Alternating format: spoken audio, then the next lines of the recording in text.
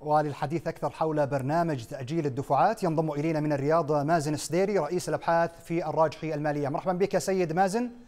هل ترى أن القطاع الخاص وتحديدا الشركات الصغيرة والمتوسطة ما زالت بحاجة إلى استمرار الدعم سواء في برنامج تأجيل الدفعات أو البرامج الأخرى؟ شكرا عبد الله. اولا لاستضافتكم. أنا راح أفكك السؤال okay؟ ما راح أجاوب على السؤال بالشكل المباشر. تفضل. أنت ذكرت في مقدمتك قبل قليل أن بعض الخبراء يعتقدون أنه لن يجدد. عندهم وجهة نظر وإن كنت أتوقع انه سيجدد. سبب أنه كلامهم منطقي أنه الحقيقة لو نشوف الشيئين الكبار المؤثرين على عودة ال recovery عودة النمو الاقتصادي بعد الأحداث اللي حدثت العام الماضي اللي هم نسبة التطعيم في المملكة مثلا وأسعار البترول. تجدها كلها أرقام أرقام جدا مريحة. يعني التطعيم في المملكة حجم التطعيم في حدود 40.50 مليون جرعة. يعني ال average 20 مليون. اللي أخذوا تطعيمين 17 مليون واللي تطعيم واحد 23 okay؟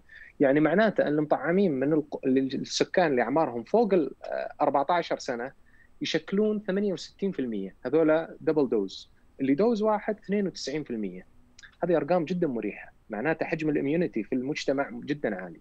الشيء الثاني لو تروح لأسعار البترول يعني شفت تقرير أوبك صدر من أيام المتوقعات النمو ممتازة. هذه السنة حدود 6 مليون برميل العام القادم 4 مليون برميل. متوسط التوقعات لأسعار البترول هذه السنة بيوت الخبرة في حدود ال 70 دولار. هذه أرقام جيدة. إحنا الراجحي نعم. نتوقع إن العجز ينخفض من 140 كما هو متوقع إلى في حدود بين ال 80 وال 100 بفضل أسعار بترول جيدة. هذه عوامل أستاذ هي ليش المقاطعة. هذه عوامل إيجابية في هجي. مسألة إيقاف تأجيل آه، آه، الدفعات. لكن ماذا عن التضخم؟ هل سيكون التضخم أنا عاملا أنا ليش؟ اساسيا أنا في ما جاوب. برنامج عبد الله تمديد تفضل. عبد الله أنا ما لسه ما كملت جوابي. أنا قلت لك ليش هم توقعوا إيقاف التمديد؟ لكني أنا أختلف معاهم إن احتمال نشوف تمديد. ليش؟ لأنه الشريحة انخفضت اللي اللي صاير عليها تمديد. يعني مثلا كنا في أحد البنوك كونفرنس كول معه قالوا ان حجم البرو ال exposure لل SME كان في حدود 5 مليار الآن 200 مليون. فهال 200 مليون الشريحة اللي انخفضت؟ شوف كيف انخفضت 90% هذا يبين إنه في تحسن الوضع الاقتصادي السعودي بشكل ممتاز. لكن هالشريحة اللي بقت 10% ممكن تحتاج تمديد. يعني ليس كما كان قبل سنتين يعني بدأ البرنامج في حدود 167 مليار لو تتذكر عام في مارس. الماضي حسب بيانات ساما. صحيح. ممكن الرقم الآن انخفض كثير. ممكن يكون الرقم الآن لو ناخذ يعني 90% من 10% من هذا الرقم 16 17 مليار بس. فممكن هال 17 تلقى تمديد. لو أخذنا هالبنك إندكس كمؤشر لنا اللي تكلم هو احد البنوك يعني. فممكن يمدد لشريحة صغيرة إنها تحتاج هذا التمديد. لكن الوضع العام كما ترى كما ناقشت معك لا الوضع العام جيد. فلا نأخذ التمديد كمؤشر سلبي على اقتصادنا. ويوجد شريحة ممكن تحتاج التمديد. لذلك لا نستغرب.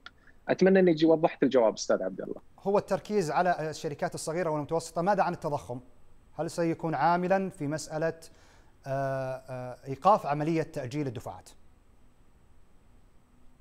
والله شوف التضخم طبعا آه، جزء منه يمس كثير قطاع المؤسسات المتوسطة بالذات القطاع اللوجستي ما أخفيك مع ارتفاع أسعار السيارات تأجير السيارات الا هذا جزء من التضخم العالمي الآن اللي قاعد نعانيه بشكل عالمي.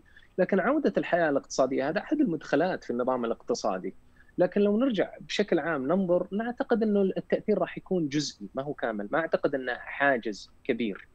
فتأجيل الدفعات أعتقد إنه ممكن يمدد فترة فترتين لكن لا يطول. يعني ما أتوقع إنه ياخذ إنك تراه بعد سنة بالكثير. عملية التعثر والديون المعدومة هي أمر طبيعي في الشركات الصغيرة والمتوسطة. ما حجم التعثر أو الديون المعدومة المتوقعة في حال عدم التمديد؟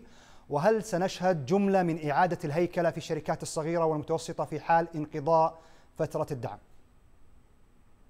والله شوف بشكل عام النمو هذه السنة القطاع البنكي كان جيد. يعني نمو القروض كان 14% كان أعلى من الودائع في حدود 9% أخذت البنوك مخصصات كبيرة العام الماضي أصلا.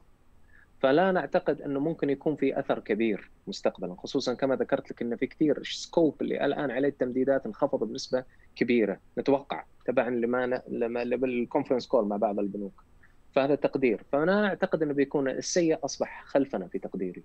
يعني كان provisions عام 20 حتى الآن أعلى من 21 برغم نمو القروض ونمو الأرباح. فهذا نعم. تقدير لن يكون الحقيقة مؤثر خصوصا ان حجم القروض كله لل SME لل SME بحدود 8% في حدود 8% من كل القروض البنكية. تفضل. دعنا نتحدث عن قدرة الشركات الصغيرة والمتوسطة. كيف ترى قدرة الشركات الصغيرة والمتوسطة للتكيف مع تخفيف أو إيقاف الدعم إذا تم ذلك؟ وهل من الممكن أن نرى أشكال أخرى للدعم بعيدا عن السيولة المباشرة أو غير المباشرة؟ والله الدعم مع مع الإصلاحات الموجودة لم يتوقف، يعني دائما يكون هناك دعم لمساعدة الإس إم وتنشيط القطاع الخاص ورواد الأعمال، هذا لن يتوقف، راح يستمر، لكن يعتمد على الستيج اللي تمر في الشركة وقدرتها على الاستمرار. يعني ليس إن الشركات اللي أصلا الموديل حقها لم يعد عصري لن تستمر، الدعم راح دائما يكون مستمر للشركات القائمة. فهي لا تمتلك طبيعة متشابهة، أقدر أقول لك إنها أعطيك تمثيل واحد يتقاطع عليهم، لكن أعتقد حسب يعني ما نرى الآن من عودة الحياة، الشكل الاستهلاكي، النمو الاستهلاكي، آه، المؤشرات اللي نشوفها يعني مثلا من الأجارات من آخره نعتقد إن الأرقام الحقيقة الآن أغلب المؤسسات المتوسطة والصغيرة أنا أتوقع ان عادت فيها الحياة. اذا تتوقع أن يكون هناك تمديد إضافي لبرنامج تأجيل الدفعات؟